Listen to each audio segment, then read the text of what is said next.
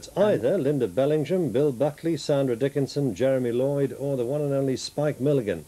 That's the lineup for All Star Secrets tomorrow at 8.45. And incidentally, it is the last in the present series, so I hope you can join us for it. Well, Ron Moody is a very, very fine actor, and he's the star of our Tales of the Unexpected tomorrow. And we have a, a clip of that coming up right now. ITV tomorrow at 9.15, Tales of the Unexpected, a challenge. I serve a wine, then challenge him to name the breed and the vintage. A wine expert with a taste for the best means to claim his prize in a bizarre gamble. Louise from her admirer. Heartfelt words. I won't force you to bet on this one. I may want to raise the stakes. What? The bet is on in Tales of the Unexpected, tomorrow at 9.15 on ITV. There's the lineup tomorrow. The news at 9.45, followed by a fine romance. Well, this week Mike finally proposes, though exactly what he's proposing isn't really quite clear to anyone. The South Bank shows at 10.30, when we feature the poet and critic Sir Stephen Spender, who's now 76. He'll be talking to Melvyn Bragg about his life and his friendships. And that's the lineup for Sunday. The weather's not very good, I'm afraid. We'll take a look at it right now. It's going to be cold, bright with sunny periods and a few wintry showers.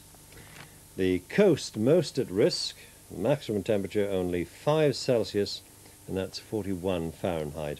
The northerly wind will become fresh to strong, touching gale force down the coast. So uh, not very pleasant round the coast tomorrow. It's our final programme now. It's Poets' Corner, and for that we join Maxwell Dees, who reads poems for remembrance by Les Parsons and Ethel Robinson. And those poems from Maxwell Dees brings our programmes to a close tonight.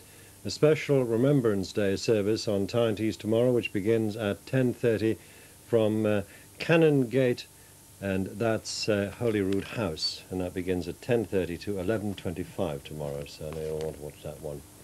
Lots of good things for all the family to enjoy tomorrow on Tyne Tees with your programme announcers Annie St John and Bill Steele, and uh, I'm back on uh, Wednesday evening. Look forward to seeing you then.